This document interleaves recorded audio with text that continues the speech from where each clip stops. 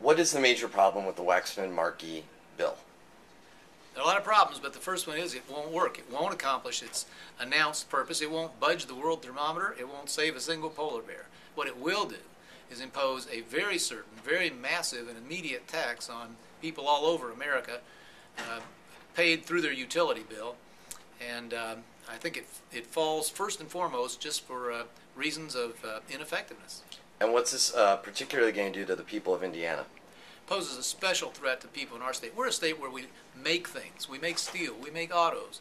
We export. We do the things that a strong American economy needs. And this is a very direct, punishing penalty. It will raise the cost of energy, hurting our poor people most. It will raise the cost of energy, driving manufacturing jobs, the kind America really needs more of, offshore to places like India and China. Thank you, Governor.